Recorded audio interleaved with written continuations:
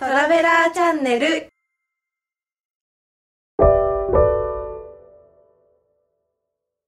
こんにちは。JST で海外ウェディングとハネムーンを担当している早川です。本日お話しするテーマは、えーこちら。コロナ前に戻った完全規制緩和の国々。6月最新ということで今規制緩和がどんどん世界中で進んでいます。この完全規制緩和の国々ということでもうコロナ前と同じように、まあ、こういったワクチン接種証明書とかあと面倒な、えー PCR の、えー陰性証明書とか、まあ、アプリのダウンロードとかそういったことなしで、えー行ける国。先月もちょっと、えー先月の時点での、えー国々ということでお話をしたんですが6月に入って、えーさらに、世界中で規制緩和が進んで、えー行ける。コロナ前に戻って、普通に行ける国が、どんどん増えてきてますので今日は、そういった国の、ご紹介をさせていただいて海外旅行に行きたいなっていうふうに考えている、皆さんの参考にしていただけたらなと思いますのでぜひ最後までご覧ください。よろしくお願いします。じゃあ今日お話する内容ですが、まあ、コロナ前に戻った完全規制緩和の国ということでヨーロッパ地区南、え北米南米地区あとアジアオセアニアその他の地区。最後にまとめということでお話ししていきますがまず一番のヨーロッパ地区ですがこれはかなり増えました。先月お話したのはこの1番から10番までイギリスアイルランドアイスランドノルウェースウェーデンチェコハンガリールーマニアポーランドブルガリアに行きますよっていうお話をしていたんですがさらに11番から24番までアルメニアオーストリアギリシャクロアチアスイススロバキアスロベニアセルビアデンマークベルギーモンテネグロラトビアリトアニアリヒテンシュタインということでヨーロッパではこの24カ国が、まあ、コロナ前と同じように、完全規制緩和でいけるように、なっております。ただ注意点ということでヨーロッパには、まあ、同じ国としての扱いという意味でこの宣言協定宣言協定国っていう国のつながりがこうあってでその国を乗り継いで、まあ、こちらの24カ国に、えー行く場合この最初に経由する、まあ、その国で、えー入国するわけではないんですけどその国で、まあ、入国の手続きをする必要があるということでヨーロッパは、まあ、その最初に入る、経由地のその国のルールが、ま、適用されるということで、まあえー、とケースとして一番ありそうなのが、えーまあ、パリを経由して例えばオーストリアとかに行こうっていう場合パリは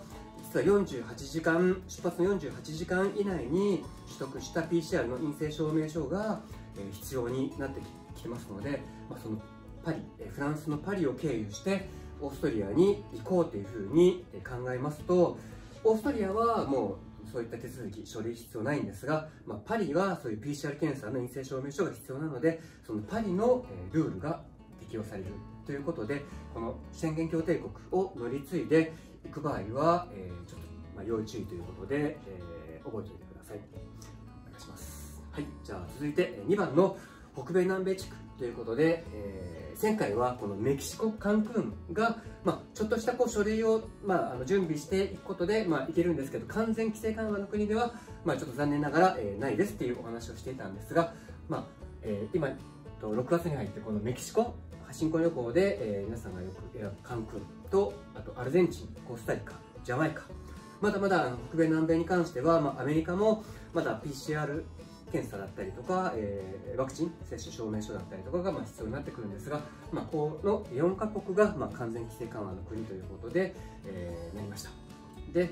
ただアメリカもこの注意点。で特に南米とかは結構アメリカを経由していくルートっていうのが、えーまあ、多いというかほとんどなのでこのアメリカを経由する場合、まあ、電子証明書の、まあ、エスタープラス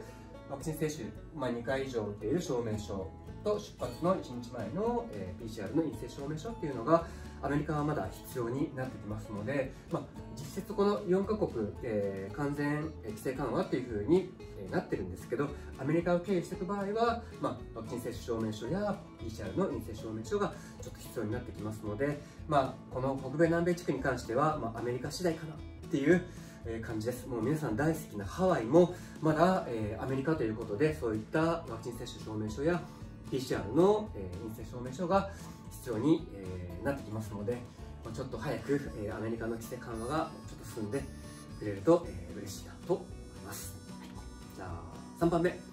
アジア・オセアニアあとその他の地区ということで、えーここも、えー先月は、えーこのモルディルだけだったんですが、えーちょっと増えて、えーアジアのえーベトナム、モンゴルあとまあ中東の、えーイスラエルあとヨルダンが、えー増えて、まあ、アジア・オセアニア、えーその他の地区としては、まあ、この5カ国が、えー完全規制緩和の、まあ、国ということで行くことが、えーできます。なので、まあ、例えばモルディブとかもちょっと直行便で行くことができないので、まあ、経由していくので、まあ、ちょっとこう経由地のルールだったり、えー搭乗していただく航空会社のルールをちょっと確認しないといけなかったりしますが、まあえーアジア、オセアニアその他の地区では、まあ、この科目ということで覚えておいてください。じゃあ最後4番まとめ。ということで、え2つありました。経由地とあと日本、えー帰国時。ということでまずこのまとめの1番の経由地っていうのは、えー先ほどもお話しした通りで、まあ、ヨーロッパとかあとアメリカ方面北米南米中米に行かれる時に、まあ、特にこう注意が必要なのは、まあ、先ほどのこう経由する、まあ、場所によって、まあ、その国のルールがこう適用になったり、まあ、利用する航空会社のこうちょっとこうルールが適用になったりしますので、まあ、このどこの国を経由して目的地に行くかっていうのが、まあ、重要になってきますのであのどんどんこう規制緩和の国がこう増えてはきてるんですけど、まあ、その経由する、え国のルールもちょっと、まあのチェック確認していただいて、えーまあ、必要処理を準備していただく必要がありますので、まあ、ここは、えー非常に重要な、ポイントあと2番の日本帰国時ということで日本も、まあ、アメリカとかこうハワイとかと同様に、まあ、帰ってくる日本にこう、まあ、日本からこう観光に出かけて帰ってくるときに PCR の陰性証明書を、えーまあ、現地出発する72時間以内に、まあ、受けてその陰性証明書を現地で発行してもらって、まあ、それを持ってこないと、帰ってくることが、できないっていう、えールールをまだ日本は、えー取っているので、まあ、早くねそのルールが、えーまあ、規制緩和でなくなってくれるとさらにこう海外旅行、えー行きやすくなるんじゃないかなと思いますが、まあ、日本帰国時のその現地で、まあ、受けていただく PCR 検査陰性証明書っていうのがまだ今はえー必要ということで、えーまあ、覚えておいてください。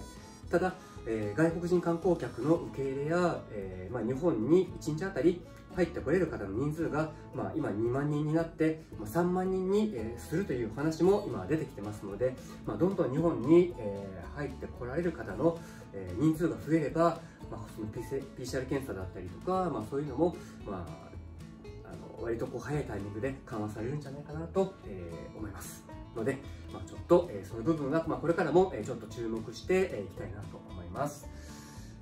今日のお話は以上になりますが、えー参考になったよという方は、えーいいねボタンとあとチャンネル登録を、よろしくお願いします。では失礼します。